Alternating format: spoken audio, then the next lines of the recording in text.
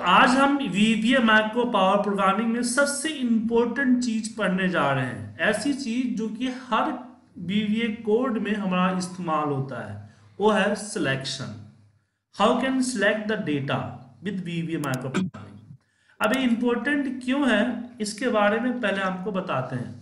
कि एक्सेल में आपके पास अगर कोई डेटा है उसके ऊपर आप कुछ करना चाहते हैं पिवट करना चाहते हैं फ़िल्टर लगाना चाहते हैं चार्ट लगाना चाहते हैं कॉपी करना चाहते हैं पेश करना चाहते हैं फॉर्मूला अप्लाई करना चाहते हैं एनीथिंग नीड टू सिलेक्शन समझे? तो एक फिक्स डेटा को सिलेक्ट करके कर लेंगे तो ठीक दिक, तो दिक्कत नहीं है लेकिन आप वीवीए प्रोग्रामिंग बनाते हैं डायनेमिक के लिए ताकि आपका जो एक्सेल है। इन फ्यूचर में अगर डेटा चेंज तो formula we automatic data increase कर ले। डेटा अगर कम हुआ तो डिक्रीज कर ले।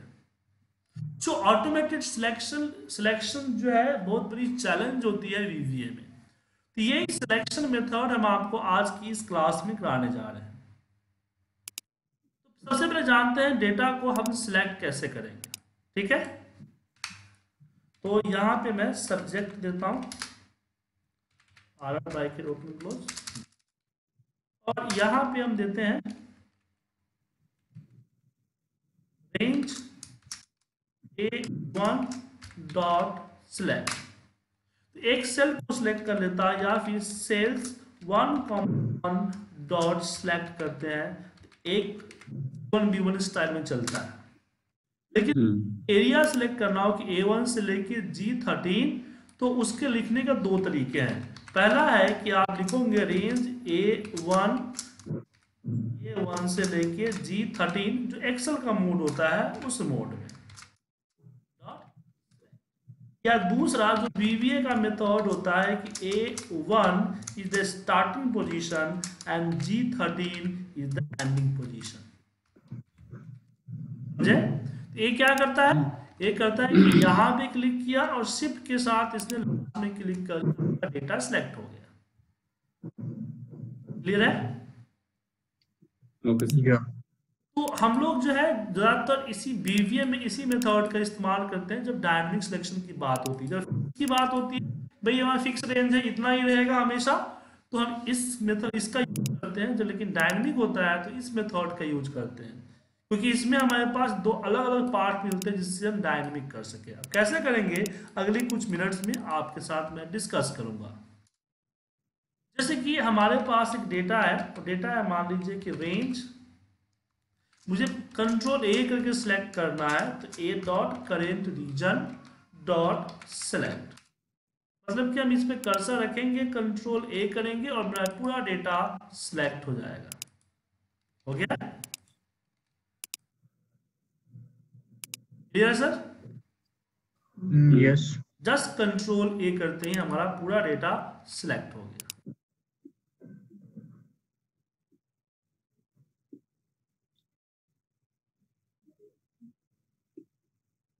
लेकिन मुझे पूरी सीट सिलेक्ट कर लिया है तो पूरी सीट सिलेक्ट करने में क्या करेंगे?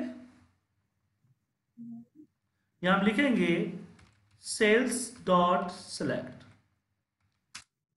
cells dot select हमने किया तो पूरी सीट को सिलेक्ट कर लेगा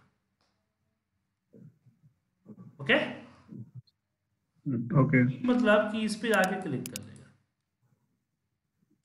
लेकिन जब हम मान लीजिए कर्सर मूव करने की बात हो कि मुझे कर्सर में जहाँ कर्सर है उससे नीचे लाना है या राइट में ले जाना है डाउन में अप में कहीं कर्सर को मूव करते हैं ना हम लोग?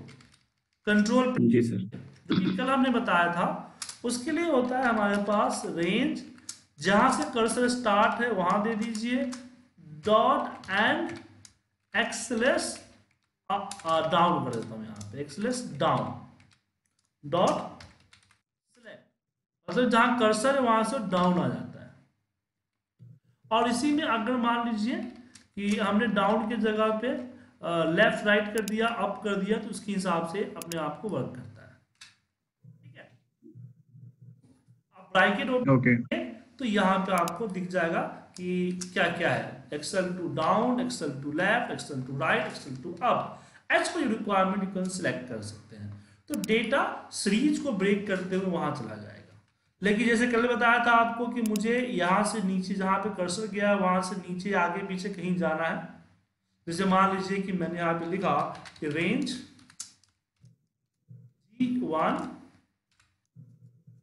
dot end S down अब मुझे एक्सलेस डाउन मतलब कि यहाँ पे आ जाएगा। अब मुझे मान लीजिए इससे एक रो नीचे लाना है। तो मैं यहाँ पे लगाऊँगा offset offset one row comma zero dot zero एक रो नीचे और एक कॉलम आगे लाना है। तो यहाँ पे हो जाएगा हमारा वन तो मुझे एक रो नीचे नहीं एक रो ऊपर एक रो एक कॉलम पीछे करना है। तो यहाँ पे आप माइनस। माइनस हो जाएगा। या ठीक है? यस सर तो ऑप्शन का मेथड समझ में आ गया? जी अब सर एक छोटी सी दिक्कत और होती है जैसे कि डाउन का यूज़ करते हैं और मैंने यहाँ पे ब्लैंक कर दिया। तो अब मेरा जो ए एक्सलेस एंड वाला मेथड है वो क्या करेगा कि कर्सर को यहीं पे आके रोक देगा। है? अब इसके आगे नहीं बढ़ने देगा क्योंकि इसके आगे इसको ब्लैंक है। तो कंट्रोल एंड का मतलब ऐसा नहीं है कंट्रोल एंड एरो करते इसका मतलब ये नहीं है कि सबसे लास्ट में। वो जब तक उसकी सीरीज़ ब्रेक नहीं हो रही है तो सीरीज़ कौन सी? फिल और ब्लैंक ये आपका फिल का सीरीज़ है ब्रेक यहाँ होगा। और मान लीजिए मैं यहाँ पे कर्सर रखता हूँ तो सबसे लास्ट में जाता है ना, क्योंकि सबसे लास्ट का सीरीज़ है। तो उस केस में क्या करेंगे? तो उस केस में हम लोग क्या करते हैं? एक तरीका अपनाते हैं कि हम ये पैंसठ हज़ार पे चले जाएँ और यहाँ से ऊपर की तरफ़ जाएँ। अब पैंसठ हज़ार ज़रूरी नहीं है, लेकिन हम ले लेते हैं ऐसे ही। क्योंकि अगर 2003 पे भी चल जाए, इसलिए मेरी हैबिट है, हम ए पैंसठ हज़ार या जो भी पैंसठ हज़ार रो है, वो ले लेते हैं। एंड और यहाँ पे हम करते हैं एक्सलेस अप डॉट सिलेक्ट या ऑफसेट लगाना है तो ऑफसेट लगा सकते हैं। तो इससे बेनिफिट क्या होता है? कि नीचे सबसे लास्ट में जाते हैं उससे ऊपर कितना ब्लैंक है उससे कोई मतलब नहीं है। राइट सर इसमें आगे बढ़ते हमने आपको बताया कि हमें पूरा डेटा सिलेक्ट करना होता है तो हम कंट्रोल ए करते हैं। करते हैं? जी। तो कंट्रोल ए में की दिक्कत क्या होती है कि अगर यहाँ पे हमने फालतू में डेटा रख दिया तो उसको भी सिलेक्ट कर लेता है। वो भी सिलेक्ट हो जाएगा। तो मैं चाहता हम्म। हूँ कंट्रोल शिफ्ट के साथ वो डाउन में जाए राइट में जाए एंड डाउन में जाए इस तरह से। तो अब मैं यहाँ पे क्या करता हूँ कि इस कोड को और इस कोड को आपस में मर्ज करता हूँ। कैसे? देखिए।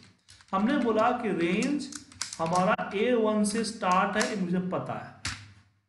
फिर हमने बोला कि एक्सल ए वन से dot end xl to left dot select समझना है कुछ? यहाँ पे दो चीज़ चाहिए स्टार्टिंग पोजीशन और एंडिंग पोजीशन स्टार्टिंग पोजीशन पता है हमारा ए वन और एंडिंग पोजीशन के लिए हमने यहाँ पे बोला कि भाई ए वन से एंड में लेफ़्ट की तरफ़ जहाँ पे कर्सर रुकेगा वो हमारा एंड होगा। सर लेफ़्ट या राइट लेफ़्ट होगा तो राइट होगा सर अच्छा एंड एक मिनट मैं एक मिनट मैं कंफ्यूज हो गया रुक जाइए। हमेशा कंफ्यूज हो जाता हूँ।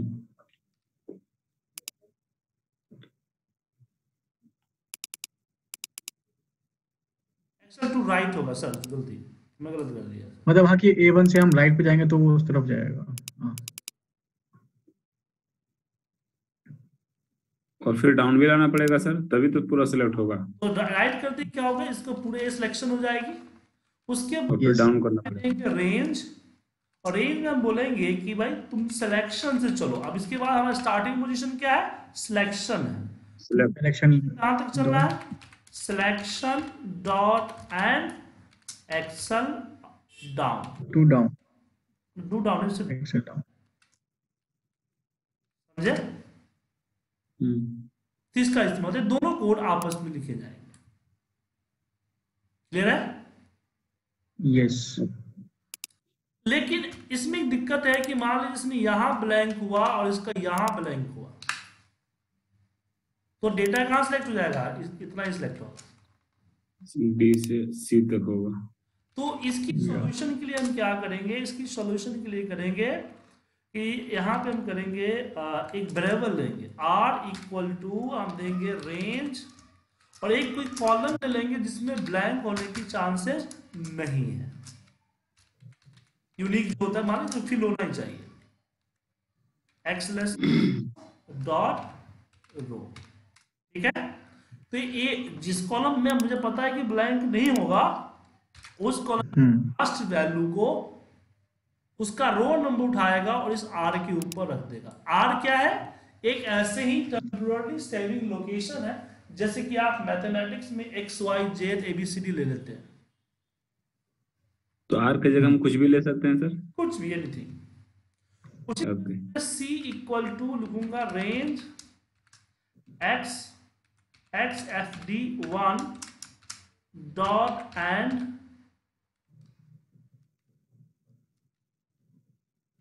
dot end और इसमें xl to left dot column ठीक है?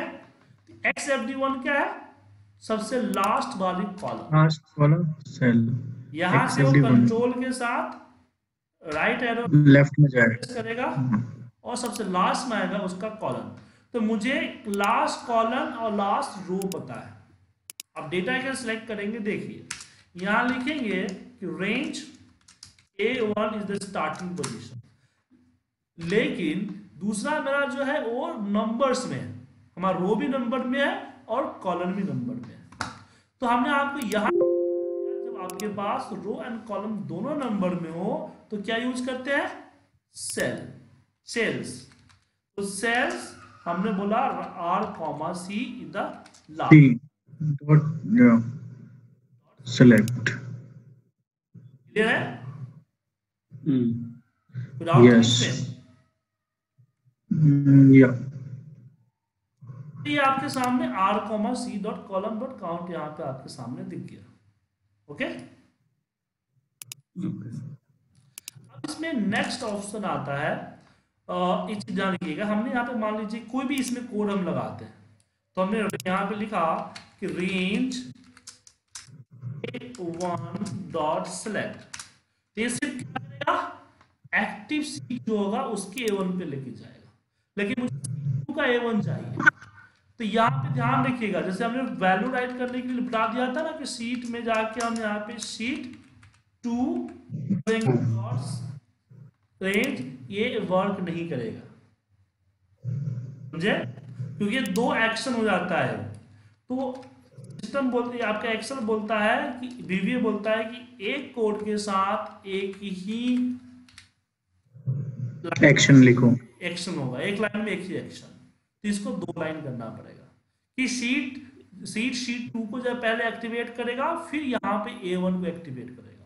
तो आप बोलोगे सर वैल्यू में कैसे हो गया? तो वैल्यू तो एक ही इवेंट है ना कि हमें ए वन पे वैल्यू डालना है।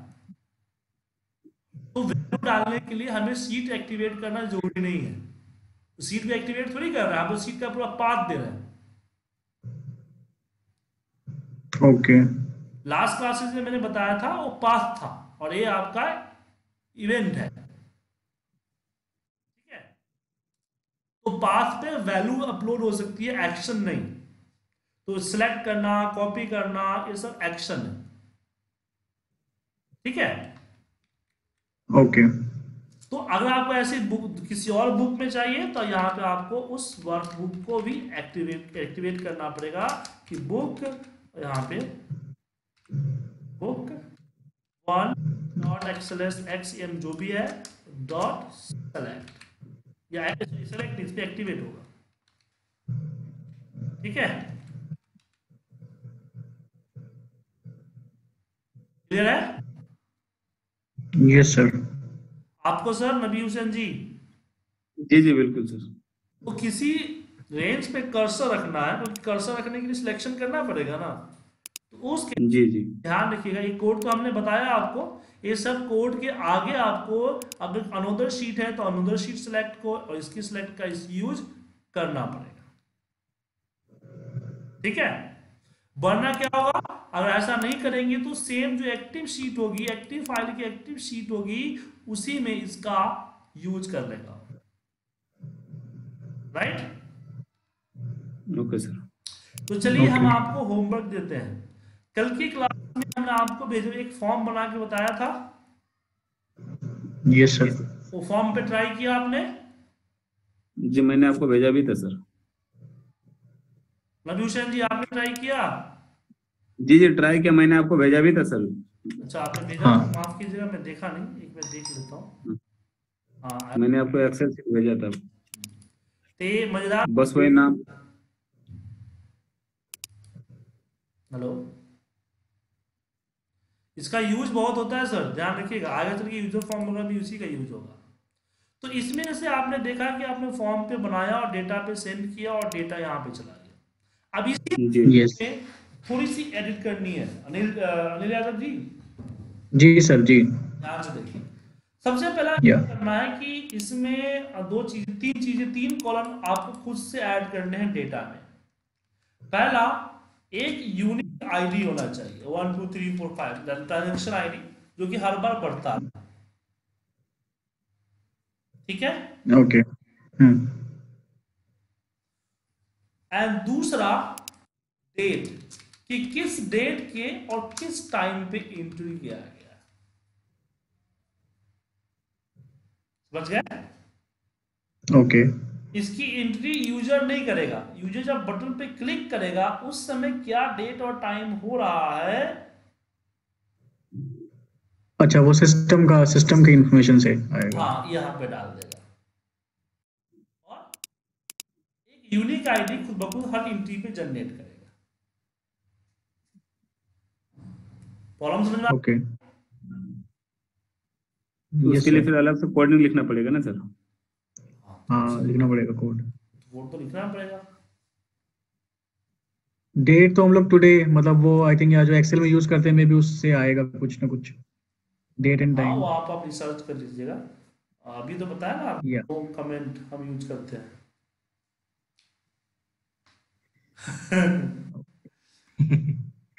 दूसरा बस आपको दोनों सीट को अलग अलग अभी क्या है दोनों सीट एक ही फ़ाइल में इन दिनों को हम्म। कर देना